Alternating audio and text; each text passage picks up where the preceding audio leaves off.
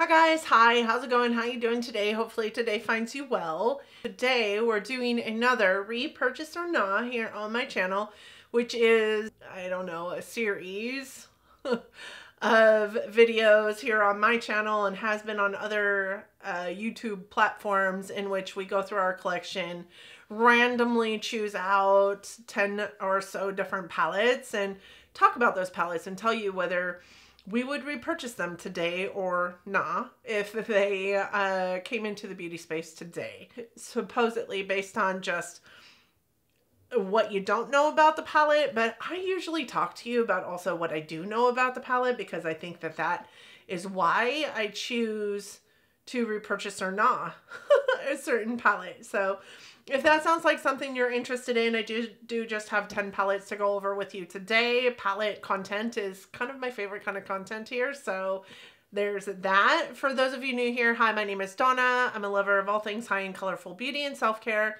I also work as a field leader for Ulta Beauty, so I get a lot of education in my position. I like to bring you that education here, but ultimately I'm just out here talking about makeup because I like to talk about makeup. And it brings my heart joy, and I hope that it brings your heart joy too. And if it does, I hope that you find that you like it here and that you'll want to subscribe before you go. But with all that said and done, let's jump into this video where we just talk about some makeup, shall we? Purchase or not time, and I have 10 different palettes to go over with you that were randomly chosen for me. My Spreadsheet is very confusing, honestly. Otherwise, I would absolutely show it here. But I have all of my palettes in a spreadsheet and then I randomly choose several different numbers and I just pick from those numbers the palettes that I am able to choose from. Sometimes those numbers populate with a palette that I've already went over with you in this. I think that there might be one that I already did before, but maybe didn't get it like blocked out as one that I had done. I don't know. You'll have to tell me when when the video is done or in the comment section, whichever. But with that said, these are always just super fun and we just talk about, you know, these palettes. So let's jump in. The first one I have for you is the one that I think I maybe have gone over with you before, or maybe it's just one that I've talked about ad nauseum on my channel, but that is the Too Faced Chocolate Gold. So I'm not a Too Faced lover and too Faced is not a brand that I typically go for ever.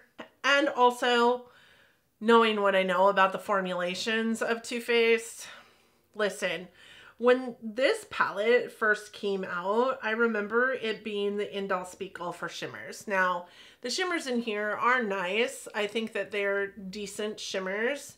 They're really firmly pressed. They are pretty impactful in an eye look. I just don't any longer think that these are, oh, holy cow, right? I just no longer think that these are the best shimmers out there. And when I think about that and my desire to even side eye Too Faced, I would have to say that this is probably not a palette that I would pick up today. With that said, I do think that this is a really great palette. I mean, you just this palette is so old you guys and this is how the shimmers are still performing in this palette. There's very very little chocolate scent left to this palette but there's no like discoloration or like i don't know weird things growing or anything like that in this palette and it still obviously performs so so well. So while I probably would not pick this palette up today, this is a palette that I am happy that it exists in my collection. It's a, number one, it's a piece of history in my humble opinion to makeup in the makeup space and what was good versus what is good now, right? We've had, we have so many indie shadows now that those shimmers that I just showed you are maybe laughable, but honestly, that was the stuff back in the day. And I'm really happy that I actually jumped on that bandwagon and grabbed that palette, but I would not pick it up today. Uh, also chosen for me was the Melt Muerte palette. And if you guys know anything about me, you probably know this story. But this was a set, and I thought, hmm, I should bring in both of them because you can't talk about one without talking about the other. But we're going to talk about one without talking about the other.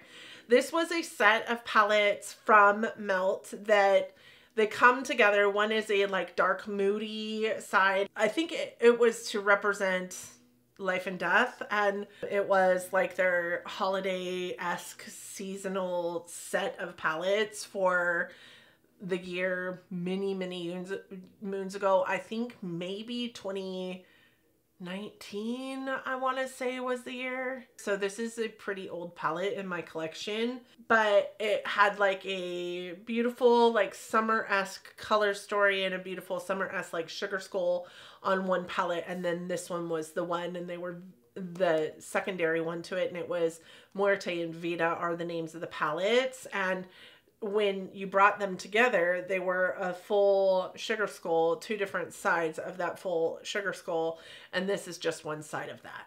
This is a color story that is scary for most people and um, was also scary for me at the time, but I could not get past this packaging like i wanted this so bad. But it was also at a time and place in my life where i wasn't spending $60 on a palette let alone i think it was a hundred and $150 or $109 for the the whole set. And i wanted the whole set I missed out on it. And when a friend of mine, uh, she makes fun of me because I still talk about this today, but a friend of mine was at a beauty show and they were there and they were selling the Melt Muerte and Vida set and pieces of the set. And I, she rang me up and she's like, Do you still want this? I said, Absolutely. She said, what pieces. I told her what pieces that I absolutely couldn't live without, and she bought them for me, and I sent her the money. And it was part of their Amor Eterno collection, and I have both of the palettes and the highlighter to this collection. Would I repurchase this palette today? Absolutely.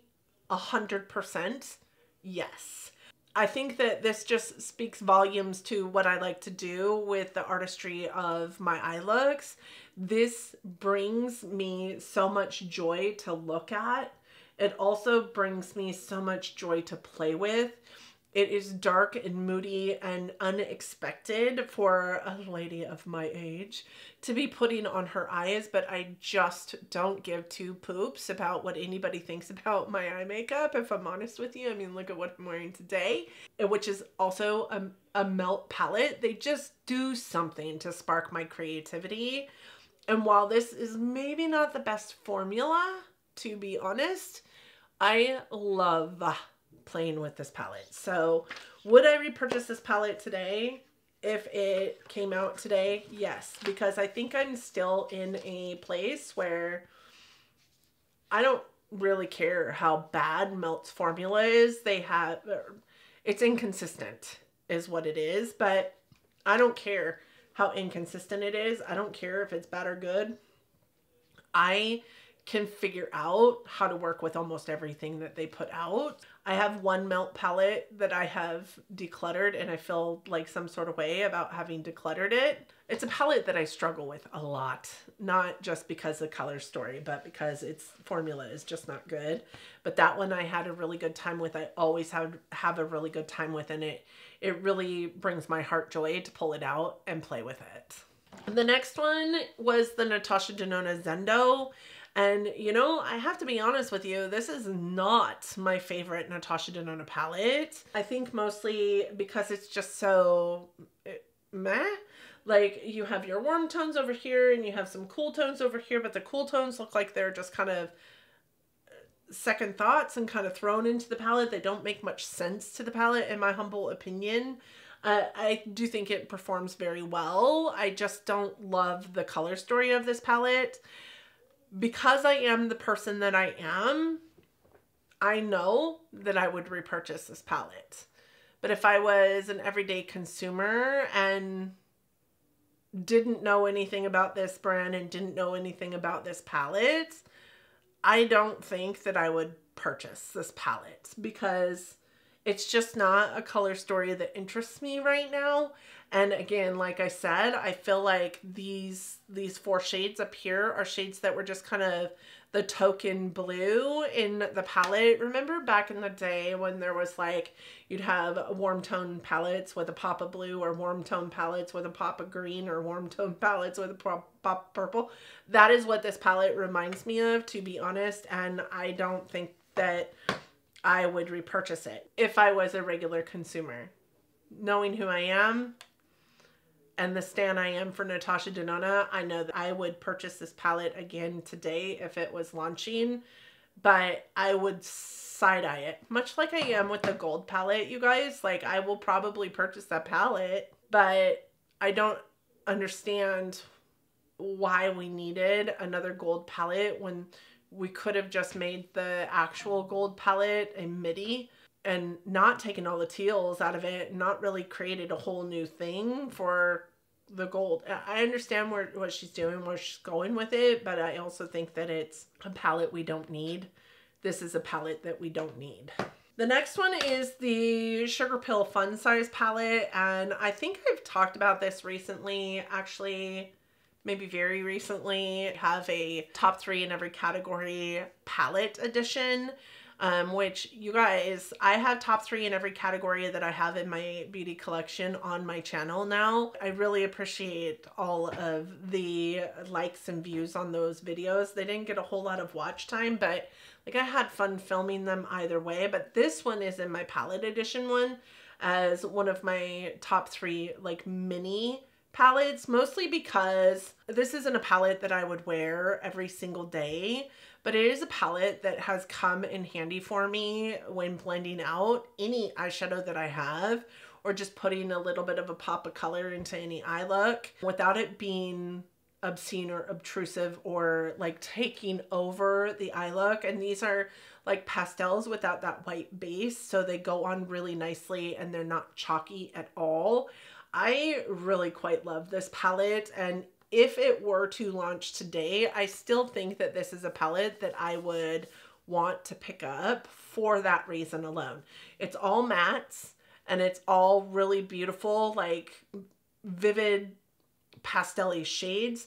I don't love pastels, but I do love that this is all mattes and specifically love the fact that I know I use it today for blending out the more vivid, like deeper tones in my eyeshadow palette collection. And I think I would still look at this in that way if it were to populate today. When I picked it up, I was going through some kind of phase on like, I need to be a pastel lover. And I just didn't love it for that reason, but it does serve a big purpose in my collection these days in blending out anything I need to blend out with a um, really nice, sweet, blendable, pigmented pastel color. So I do think that I would probably pick that up again today. For this one, this is the ABH Norvina Collection Mini Pro Pigment Palette Volume 1. This I think I would pick up today as well. It's just a really beautiful color story. Now there are others of these minis that I don't think I would pick up today if you paid me to. Um, but this one I think is one of the color stories that I absolutely would. I think it is so beautiful. I love the purples and the pinks. Those are like some of my most favorite colors to wear on my eyes as well as like oranges and with this like crazy pop of orange in here and this beautiful shimmer that goes with it. I think I would look at this in the store and be like, yep, I have to have it. So I definitely think I would pick this up again today. I especially love that it's got pinks, purples, and oranges in here and it's all very cohesive with each other. Like they all look like they could form one eye look even though there's nine different shades in here. I just really love me a nine pound eyeshadow palette that like speaks to my soul. Soul. I just totally threw that across the room. I hope it did not break. Um, I love that palette. I'm gonna go check on that real quick. Apparently, it is also mostly indestructible we do have a little bit of like this this middle shade that broke off and is kind of all over the place. But for the most part, the palette is in one piece. Look at that. So excited because that truly just flew across the room. So yeah, I would definitely pick that one up again. It also picked for me the Urban Decay Electric palette. And if you guys know anything about my channel, you know that this is a hugely nostalgic palette for me. And if you look at my eyes, you might be able to tell the answer. Like these colors just bring my heart so much joy and really spark the creativity in my mind. And I wish that Urban Decay would put this palette out again, not Wired, not that palette, but this palette. I wish they would put this out again because this is so old in my collection. I should probably, these two palettes actually should probably go in my memory box and not be used on my eyes ever again. Um, but I it's got like a grip on me. It really does. So while I probably will never put this on my eyeballs again, if Urban Decay came out with this palette again today, I would repurchase this palette. 100%. Okay, the next one I have is the Ace Beauté Paradise Fallen. And this is what this palette looks like. I got this in a FabFitFun, I do believe, or maybe a FabFitFun edit sale. Maybe I purchased it in a FabFitFun edit sale. This is the old Ace Beauté formulation. I don't know what their new one feels like or, you know, how it performs. I do know that I've heard from friends of mine on this space that it's not much different than the old one. And I don't have any problems with the old formula. However, this palette is, and I say this thinking through the lens of also this palette, but this palette has a, a large amount of depth, but also a large amount of like light to it. This palette, I think that I would talk myself out of today if I were to see it you know, as a today launch. And the biggest reason why is because it's purple and gray. And while I love purples on my eyes, these are really, really dark purples. And even the shimmers in this are really, really dark shimmers. And I just, I like a little bit more light or a little bit more variance to the shades than what I think that this presents right off the bat. And Beans is that it is an indie brand that you can't get in a store. Like I wouldn't have any option to look and feel and touch the palette. And I believe that the only reason why I purchased it is because they had the whole like Paradise collection on the FabFitFun edit sale. I was getting one in my FabFitFun and I purchased the other ones from that edit sale. Now, I love their formulation. I think that Ace Beauté has a really great formula, even the old formula. But I just think that this palette maybe would be too dark for me to appreciate what I know to be true about the palette because I have used the palette. So I definitely think that this is probably a palette that I would pass on if it were to launch today.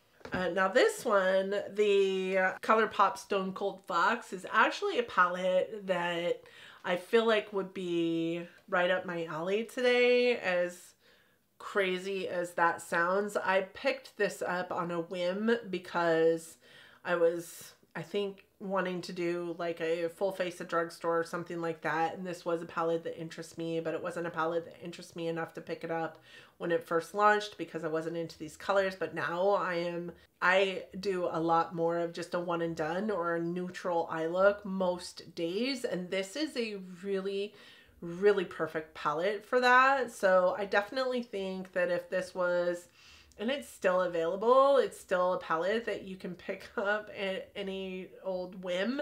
Um, I do think that if they launch this palette today, I would side eye it and I'd probably want to pick it up at launch or like shortly after launch. Whereas I think when it launched, I waited a full year, I believe, to pick it up because it just wasn't my cup of tea at the time. But this is definitely a palette that um, serves a really, a really great purpose in my collection. It's not one of my favorites. It's not one that I would like go after, but I could see myself side-eyeing it and picking it up today. Then there's this one. This is the Juvia's Place Wahala palette, um, Wahala 2. And I picked this up because it was so beautiful, but I also didn't need it, and it's also mostly blue. While I love a blue eyeshadow on my eyes, I do not need a mostly blue eyeshadow palette. I also feel like this doesn't like speak to each other very well, and I also know that there are three different shades in this palette that I won't even use because they're pressed glitters. And I just know enough about myself these days and knew enough, honestly, about myself when I picked this up that I wasn't going to use those three shades. I do think that this blends well. I think that this is beautiful. I have used it maybe a handful of times. I think that it is a very different formula than what I was used to from Juvia's Place when I picked this up. And I love the old Juvia's Place formula. Now, this palette looks to me very, very unused. And it's just because I really didn't need to pick up this palette. Would venture to say that I don't even side eye Juvia's Place anymore today. And I don't know why. I've just kind of fallen out of love with the products from the the eye products specifically from the brand. So I would say that I probably wouldn't pick this up today. Last but not least is the palette that seemingly will never die in my collection, and that is the Tarte Make Believe in Yourself palette. It's so funny to me that this is such a palette, palette in my collection that it just get, keeps getting pulled into different things. Last year, I spent the entire year trying to like see what kind of damage I could do in panning this palette and this is where we ended up. We have a giant pan in the middle shade and we have two pans here and then recently through a deck of panning which this might be a spoiler I was trying to put a pan into this shadow and I don't know if you guys can see but we did hit pan in that shadows. Really super excited to have this palette with four different pans in it, but this is a palette that has one matte, which is this one here, and the rest are shimmers. And this middle shade here is a highlight and it is pretty chalky and I mean, it's pretty, but it's very chalky and doesn't look good on my skin. It exacerbates texture, so I just don't, I use it for fingernail polish, which is why that big old pan exists. Now, the shimmers in this palette are really quite nice, actually. They're really, really pretty on the eyes. They're a little bit more thick and opaque, um, but they don't really exacerbate texture or, you know, cause texture to be there that didn't exist before. This is all shimmer. It's one matte and all shimmer. I think for this one, I got sucked into the packaging and how odd and eccentric it was, but these days I don't love odd and eccentric palettes, to be honest. And this is beautiful. It's a beautiful palette, but it's also, I mean, and I prefer more mattes in a palette than I do shimmers in a palette. If it's more than a 50-50 range as far a 50-50 ratio as far as mattes to shimmers in a palette, I typically will side eye it um, in the negative way. Like I don't need this palette and this is why. This is mostly, I mean, it's 99% shimmer. So I know for a fact I would not pick up this palette today if it was one that launched today. So with that said, we've been through all of the palettes that were pulled for me and it's exactly 50-50. So five of these palettes I would repurchase today and five of them I would not repurchase today. And I think I shocked myself with the Natasha Denona one. But when I think through the lens of whether I love this palette or not, I think this palette ended up like in my ranking Natasha Denona, this palette always ends up at the bottom of the ranking for me because it's just not a favorite palette of mine. That's the only surprise, I think, in this stack of wouldn't repurchase. And in this stack of would repurchase, I don't really think I'm surprised at all. And it's funny because when you when you look at the stack of would repurchase, four out of the five of them are so colorful. And for me, for a minute, I've been thinking, like, I'm wearing a lot of neutrals these days. Like, am I turning into a neutral girly? This tells me that that's not exactly the case. It's just what works for me for the moment.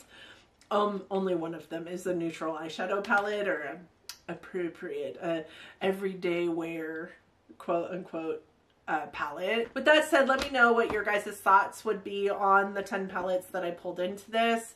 I would be interested to hear your thoughts. I also have a palette roulette a review on every single one of these palettes, so I will put my um, palette roulette playlist in the cards for you so that you guys can go and find the reviews that you want to see on these palettes if you want to see any. I hope that you guys enjoyed the video and I would I would definitely be interested in hearing everything that you had to say down in the comment section. So again, don't forget to hit a girl up. With that said, thank you guys so much for joining me today. I hope that you and yours are well.